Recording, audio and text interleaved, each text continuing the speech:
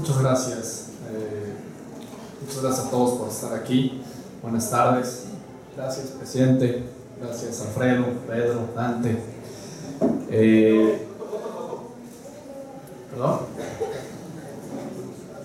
Bueno, eh, a mí me gustaría empezar diciendo que si bien dicen que es de gente decente ser agradecido, en torno a esa idea yo, yo diría que se han iniciado todos estos esfuerzos. Eh, hace 60 años va a cumplir la familia 10 desde que tomó el control del Club Deportivo Toluca, con una gran pasión, con un gran compromiso y con un gran profesionalismo.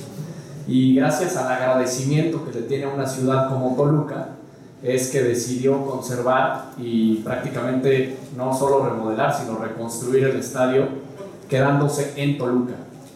El agradecimiento que viene de don Emesio y, y, posteriormente de don Valentín con el cariño que le tiene a la ciudad. Y me parece que este tipo de eventos y estos esfuerzos encabezados eh, por nuestro presidente municipal y apoyados eh, por nosotros y por la Universidad de los Potros, lo único que hacen es confirmar la importancia que tiene la ciudad para nosotros. Eh, el agradecimiento a, a, su gente y a la oportunidad que ha tenido el, el, deporte y particularmente el fútbol en una ciudad como esta. Eh, en lo personal, también agradecer a Alfredo que esté aquí, eh, al apoyo siempre de la familia 10, en particular a don Valentín, que me ha dado desde, desde el día 1.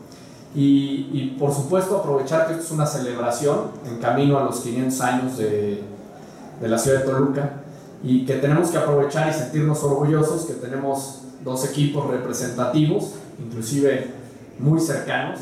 Me parece única esa, esa parte de, de, de la colindancia prácticamente de los estadios y, y, saber y mandar el mensaje que más que nada tenemos que estar unidos como ciudad, eh, estar muy orgullosos y hacer un referente de, de esto a través del deporte y por qué no el fútbol que siempre por la convocatoria y la popularidad ha ayudado a lograr este tipo de objetivos.